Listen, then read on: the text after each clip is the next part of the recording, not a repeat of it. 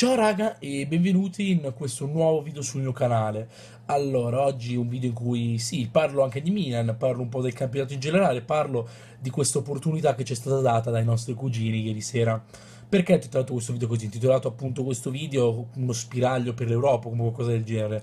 Perché ora per me possiamo un attimo ricrederci dopo il passo falso e comunque eh, rimane, rimane una figura di merda, quello del pareggio a Pescara, di domenica. Eh, sappiamo tutti che appunto dopo la partita di domenica eravamo pieni di depressione, di tristezza, come normale che sia, perché eh, ci aspettavamo tre punti proprio tranquillamente, invece è andata così.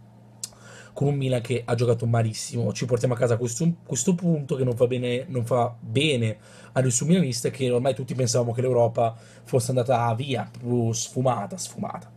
E invece ieri ehm, ci ha sorpreso, i nostri cugini ci hanno sorpreso perché eh, Lazio e Tanato sono veramente molto difficili da prendere per mio, eh, nel nostro punto di vista, perché comunque sono quasi infermabili, figa, le vincono sempre nel bene o nel male. Ma l'Inter si è fermata clamorosamente.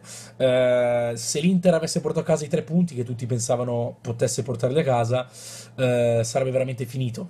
Eh, tutto quello che, cioè, che potevamo sperare di andare in Europa League perché il sesto posto, che è il posto per me più brutto per andare in Europa League perché ti sminchia tutta la preparazione, visto che devi fare il, la, il, proprio i preliminari di Europa League, eh, arri- arriva proprio a più 4 da noi, quindi l'Inter prendeva 3 punti di vantaggio ed era più che finita. E invece e invece è successa una cosa molto molto bella per noi, eh, non prendetelo naturalmente in questo video, non è un, assolutamente uno sfotto verso di voi, anzi possiamo considerarlo anche tale, ma visto che comunque in questi giorni ho ricevuto tante, ehm, più che in questi giorni domenica, no, domenica sera ho ricevuto tante, tanti sfottò, tante prese per il culo degli interisti, eh, di certo io sarei un attimo più attento a parlare prima di giocare Naturalmente non sto parlando di tutti, anzi, diciamo la maggior parte degli interisti che seguono il mio canale sono sportivi e dicono quel che devono dire. Quando vince l'Inter, io faccio i complimenti all'Inter. Quando vince il Milan, però pretendo di complimenti del Milan. E soprattutto ci sta lo sfottò, ma prima di sfottere o comunque prima di scherzare con il tuo rivale perché ha fatto un brutto risultato come noi a Pescara, pensate prima a giocare a portare a casa i tre punti.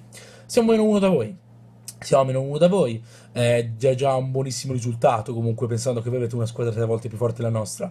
Diciamo che non è un nostro obiettivo arrivare sopra di voi, cioè nel senso se mi dicessero eh, preferisci arrivare sopra l'Inter ma settimo, preferisci arrivare in Europa League, dico l'Europa League, più che altro non per la Coppa che non mi entusiasma, ma per il mercato, perché arrivare in Europa League è un obbligo per fare un buon mercato, visto che se si farà questo benedetto closing tra pochi giorni, il Milan vorrebbe fare un bel mercato, ma bisogna almeno andare in una competizione europea, se no i giocatori di grande calibro che vorrebbe il Milan non verrebbero mai senza nessuna competizione europea semplicemente. Arriverebbero solo dei giocatori che non sono né carne né pesce, non sono tanta sostanza. Quella sostanza che serve al Milan per diciamo, recuperare tante posizioni. Tutto quello che ci ha fatto provare in questi anni è veramente incredibile. In un Milan che era abituato a vincere come tifosi, rivogliamo tutto quello che avevamo avuto degli anni a questa parte, cioè vincere, vincere e ancora vincere.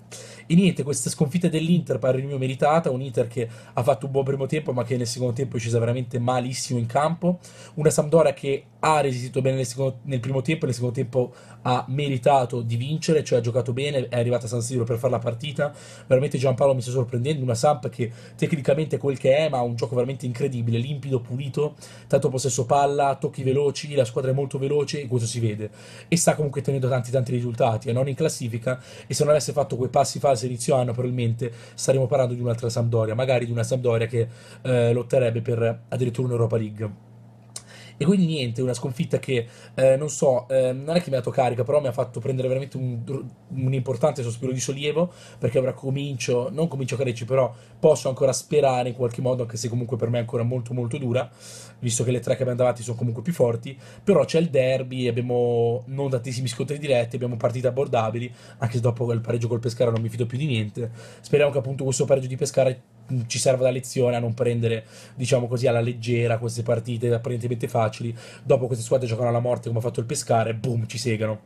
E niente, appoggia la Samp, l'Inter che ehm, dimostra per il mio di avere tanti giocatori ma non un organico necessario per arrivare in Champions League, può dire addio alla Champions e ora deve stare addirittura attenta per l'Europa League perché non ci siamo solo noi dietro attaccati a un punto ma c'è anche la Fiorentina che io non, non me l'aspettavo sto accumulando tante di quelle vittorie che è arrivata a 3 punti a 4 punti da Milan e Inter.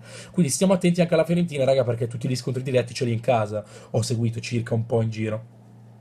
E niente ora ci aspetteremo un bellissimo finale di campionato, vedremo gli scontri diretti cosa faremo con Roma, Inter e Atalanta, alla fine sono questi gli scontri diretti che ci aspetteranno e speriamo di far bene, raga. Diciamo questa sconfitta dell'Inter mi ha dato veramente una boccata d'aria perché ripeto, se avesse vinto la nostra esperienza per l'Europa, League almeno sarebbe finita. Così invece c'è da sperare ancora un pochino, ecco. Poi comunque per me milanista è sempre comunque abbastanza bello ehm, non veder vincere l'Inter. Come normale che sia, come gli interisti, per gli interisti è bello non veder vincere il Milan, se, ma a maggior ragione se tutti e due stanno lottando per un posto in Europa League e sono molto vicini in classifica.